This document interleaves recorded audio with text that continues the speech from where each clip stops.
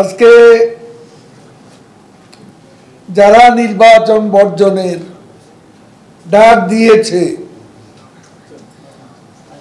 দেশের জনগণ তাদেরকে বর্জন করা শুরু করেছে। তাদেরই বর্জন করবে দেশের মানুষ।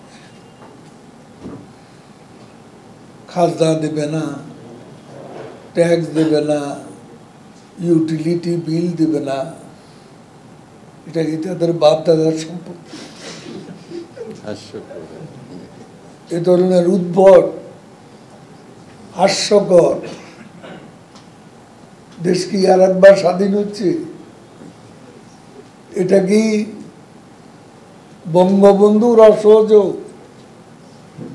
কি দুঃসাহস? মাথা খারাপ হয়ে গেছে। নির্বাচন করলেও ব্যর্থ। আন্দোলন করে ব্যর্থ। এখন তাদের সামনে আর কি আছে? তারা এই নির্বাচন বর্জন করার মধ্য দিয়ে তাদের রাজনৈতিক অস্তিত্ব আরও সংকুচিত হবে। আরও সংকুচিত হবে তাদের রাজনৈতিক ভবিষ্যৎ। অনিশ্চয়তা বাড়বে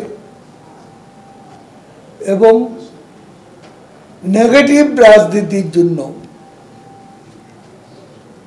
এই রাজনীতি সন্ত্রাসের পথ তারা বেছে নিয়েছে। চরম নেগেটিভ এই সন্ত্রাসের রাজনীতি আর গণতন্ত্র বিপরীতমুখী।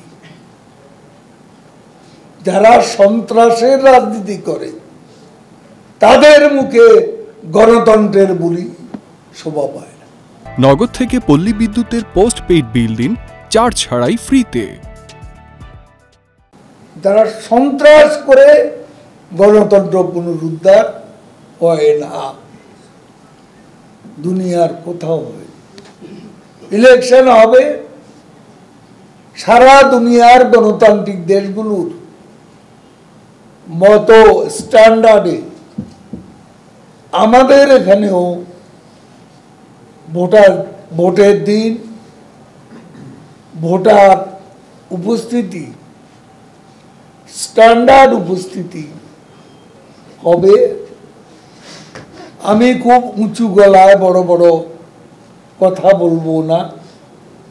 আমি বলব, অন্যান্য গণতান্ত্রিক দেশের যে উপস্থিতি, সেই উপস্থিতির সঙ্গে তুলনা করলে আমরা হতাশ হতে হবে না। ভালো একটা উপস্থিতি এই নির্বাচনে। হবে আমি আমার নিজের নির্বাচনী এলাকা ঘুরে এসেছি। সাংবাদিকরা অনেকেই আমার সঙ্গে গেছেন। সেখানে দুটি, দুদিন আমি ছিলাম।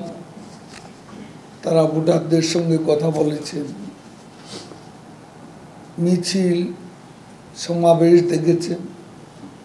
মানুষের অ্যাটিটিউডটা কি?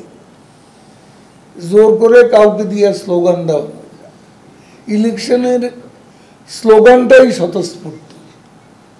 এবং সেটা অন্যান্য নির্বাচনে যাওয়া হয়। নিশ্চয়ই তারা সেটাই আমার এলাকা লক্ষ্য করেছে